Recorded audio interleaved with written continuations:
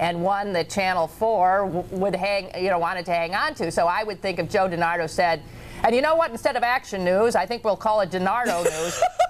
I'm, they would have okay joe anything you say anything you say and i mean that's the reality i mean certain people in the business uh, develop uh, power and the ability to bargain but you have to admit that the reason he's developed that standing in the community is because he's a real person. Absolutely. He's he is a real person. i've talked to him and i've touched him and i know he's real Well, I had a story about him a long time ago, right out of high school, that Yes. uh, I feel real bad about. Maybe you guys know about this, but uh, a long time ago, he was receiving his brand new automobile. And I was working at this car dealership at this point in time. At this uh, particular instance, he was to receive the car, oh, two or three days before the actual release of the new models. Me being a young high school child, just driving for the first time. No, not really for the first time. But he was standing there in the lot, and I was odd, I would guess. And pulling into the lot, I did not realize that I had. Yes, this is true. I ran and I hit into the pole. And I never heard Joe DiNardo use language like that before, but nevertheless, I can understand why. I he didn't say an upper air, a, a loft he said he really was he was so you found out he was a real person That's I did. Very real, real and genuine. And I love him. He does great work. I know that you're very, you're being very That's a discreet. I know the car you're talking about. Yeah, it was me. Um, you do that's a great story i love it hey thanks for the call very good. bye bye Thank you. We're having fun with Sally Wiggin. Time's gonna fly. 333-PCNC, and we still don't know what cartoon character she has a crush on, but I am going to get to the bottom of it when Cullen on Cable continues. Don't look at my notes. Hi, welcome back. Lynn Cullen here with uh, an old friend. uh, No, I'm Sally- not old. I didn't mean that. I mean a friendship of some duration with this woman, Sally uh, Wiggin, who's uh, obviously being very forthright because she's already told everybody how old she is. Okay, so you just, she told me before we went on the air that you saw this. I, I, took three, um, three young girls, one 15, they're all sisters, one 15, one 11, and one 4. And the four year old, uh, whose name's Stevie, has never been to a movie. She's, uh, so she, she was. You're getting off the subject. Well, I want just- to know. We went to see Mulan. We went to see Mulan Mulan. and And the minute the guy came on, I went, I know I did too. and I thought, this is so pathetic. I know, falling in love I with that- have a crush, and I'm going to go see it again. I know. I, I have to tell Not you. I- because I, thought she was wonderful. Because you wanna look at I him. love the horse too. Yeah, I the horse is the okay, but the guy is really cool. Yes. This- Mulan, the uh, Disney uh, new Disney animated feature, I took my son to it too, and when they introduced the obvious male lead, Prince Charming, I did the same thing. I said, "Oh, wow." I mean, he's gorgeous. No, but they don't kiss. well, that's he's a cartoon character. Cartoon characters kiss. I was Well- thinking about Superman kiss sometimes. Okay, but we were Superman thinking, comic books. how pathetic is it? two, two women in love with a cartoon character. I mean, that is pathetic. and do you know how many little girls are too? I'm sure. I'm sure. Well, that's okay. He's cool. He is and, cool. And, He's and- cool. And the neat thing about that film is, is uh, they finally really did it. The lead, the strongest character, the bravest And she character, the most powerful else. character, the hero is a girl. But of course, she's pretending to be a boy. But it's how they. It's how, the only way she could do it. Right. Right. Um, I want to really quickly run down some things. Uh, we got. You want to take some calls? yeah, we do. But how much sleep? I got no sleep last night, but I was thinking as I was not sleeping last night, well, you're interviewing Sally in the morning and she doesn't sleep, so maybe you'll be on the same. Well, I mean, you get home at what? After midnight, maybe? Midnight. Okay, about midnight. And I happen to know that this woman like is going places at seven in the morning and eight in the morning. What the heck? I mean, and I so by the gotta- I time have to stop. by the time people first see you, like at uh, fi- at five is the first show you do.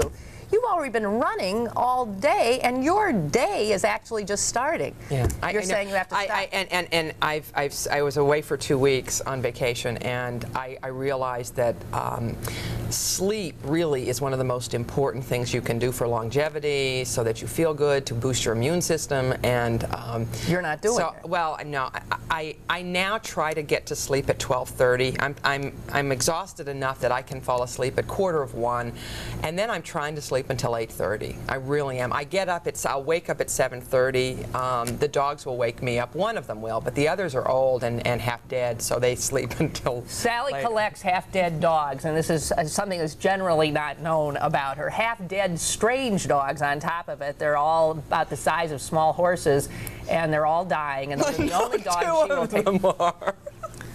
I know you're ask, wondering how many she has, but we'll just uh, tease you about that. But I'm on the edge of being eccentric. if you have a half-dead large dog and you're trying to get rid of it, Sally uh, really is probably the person to call. Okay, listen. I think I'm kidding. Hey, there's another Sally on the line here. Sally, say hi to Sally. Good morning. Good, Good- morning. Good morning, Sally. Are you a Sarah? Uh, no. Okay. No, I have been a Sally ever since I was born. Yeah, I'm a Sarah. People don't realize that Sally is the is the nickname for Sarah in the dictionary. And do you know that means we are a, both a princess? Yes, and I have been accused of that What do you mean it's a princess? repeatedly. Sarah means princess in Hebrew, right, Sally? Right. Yeah, you didn't know that, did you? I only took seven years of Hebrew. You'd expect me to know princess. that. Okay. It We means- knew something you didn't, Lynn. Nin, nin, nin, nin, nin. Oh, I love that, Sally. Good So, for um, you. honest to Pete. Uh, so, I, and I have to say, Lynn, I enjoy Sally so much when she's on your girlfriend shows. me too, but she won't do it anymore because I embarrass her. No, Oh, I hope she will. no, I, I, I'll do it again. She did embarrass me once. She called me. What did she call me? An apologist for? I don't know. uh, You, it wasn't embarrassed. She got mad at me. I You did. I got truth. She was furious with me. Okay, but I. Well, Sally, I have to say that you are my favorite news person in Pittsburgh. Well, aren't you, And dear? I, I feel so guilty for holding your feet to the fire for something that the station does. Oh no! Oh, that's I- okay because I, I, you know, I figured I was going to get some of that today. Well, I, I think that it's something that, as professional a person as you are, that you probably uh, are as turned off by it as I am, but are not in a position to say so.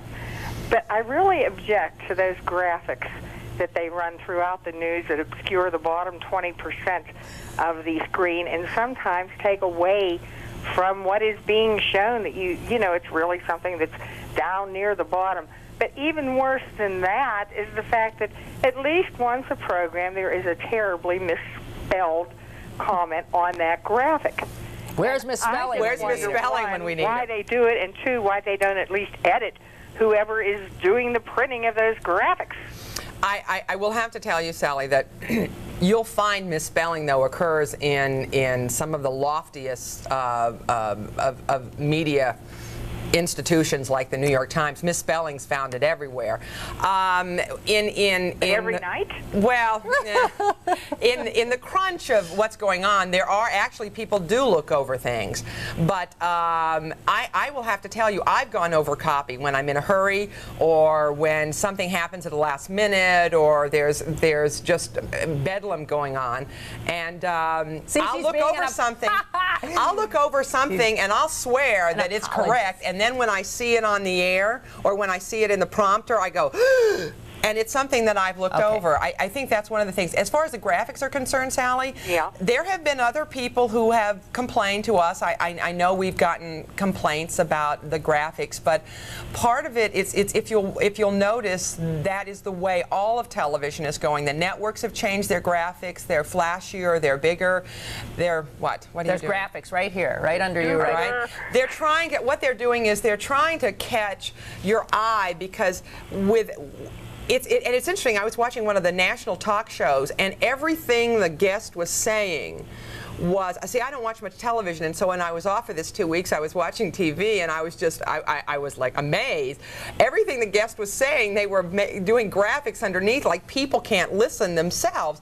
But I think people are assuming or, or producers are assuming that you're coming in and walking in and out of rooms you're changing with your remote. That's the key. You're changing with your remote all the time. So they have to catch your eye quickly. And the only way to do it is big that's what I'm. I, I, that's what I'm assuming because Sally- it's happening yeah, everywhere. Sally, I do know that the misspellings have turned me off so badly that at times I've gone away to another station for Oh. one or two days.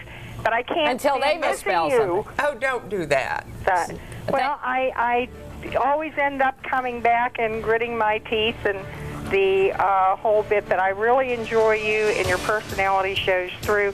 And please go back to the girlfriend show once in a while. I, well, I definitely will. I did. I, I know. did. Well, you know what I'll do? I'll have a former girlfriend show, and then Sally can come on, and all the girlfriends I've enraged on the girlfriend show can come on. The enraged Well, actually, former you- girlfriends. actually- I've enraged every single one of them. It's not easy being well, and my we're still your friends. Isn't it? They're wonderful. Long-suffering friends of Lynn Cullen Show. That's what we'll do. We'll be back in just a moment.